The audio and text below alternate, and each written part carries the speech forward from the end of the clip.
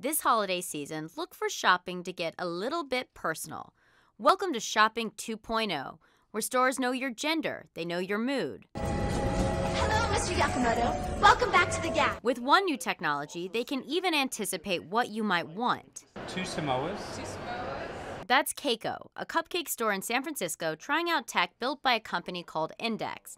It helps retailers target products to you based on your taste. If you like red velvet cupcakes, you probably like the combination of uh, cream cheese as well as um, uh, cocoa cake, and so we would recommend the uh, pumpkin cheesecake cupcake.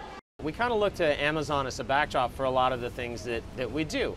Amazon's built really a, an incredible experience online, and a lot of this has to do with their ability to recognize who you are. They want to bring that experience offline. Offline retailers need to be able to recognize you really on any channel you engage with them, whether it be online, social, or in store. The technology, which you opt into, is baked into their payment system to collect your buying behavior. It's also integrated into a store's app, so you'll get push notifications when you enter the store.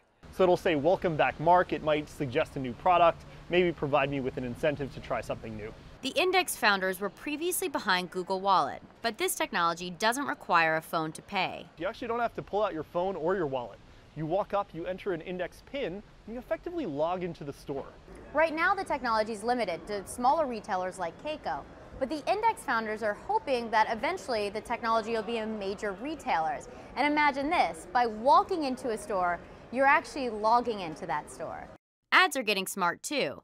Imagine technology that knows your gender, knows how you feel. Immersive Labs is making this possible with digital ads on phones or tablets that use the webcam to analyze your reaction and whether you're excited by the product or not. Other entrepreneurs set out to transform the way we pay. And tis the season where surprisingly less might be more. See, my wallet is filled with cards credit cards, debit cards, rewards cards, gift cards, filled with them. Too many. This is a coin. The connected device digitally combines all of your credit cards into one. All these cards are inside my coin. Instead of choosing inside the wallet, you'll be choosing on the coin. Coin works as an app. Users swipe their cards, take a picture, and keep one card for all purposes. All you ever need is one. One coin for all your cards. Laurie Segall, CNN Money, New York.